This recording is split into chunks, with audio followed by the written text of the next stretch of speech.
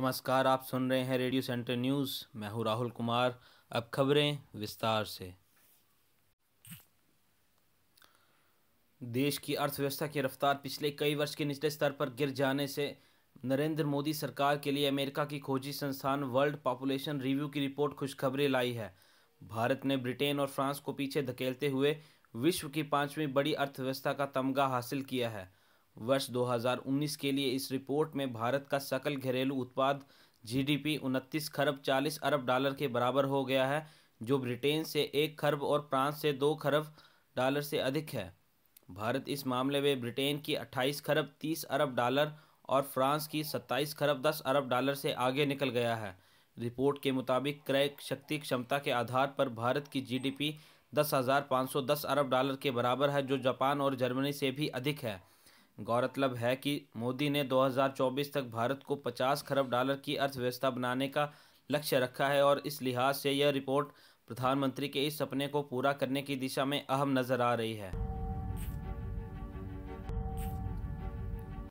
भारत के सुनील कुमार ने कजाकिस्तान के अजामत कुस्तुबायब को 12-8 से हराकर सीनियर एशियाई कुश्ती चैंपियनशिप के ग्रीको रोमन सतासी किलोग्राम वर्ग के फाइनल में प्रवेश कर लिया है।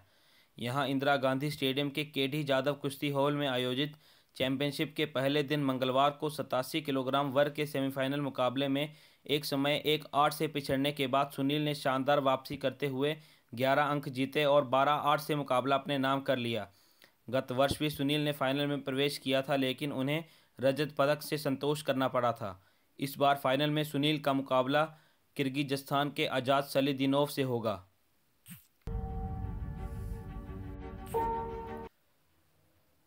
दिल्ली पुलिस ने जामिया न्यू फ्रेंड्स कॉलोनी में संशोधित नागरिकता कानून के खिलाफ प्रदर्शन के दौरान हुई हिंसा मामले में मंगलवार को अदालत में आरोप पत्र दाखिल कर दिया। इसमें शर्जील इमाम पर उकसाने का आरोप लगाया गया है।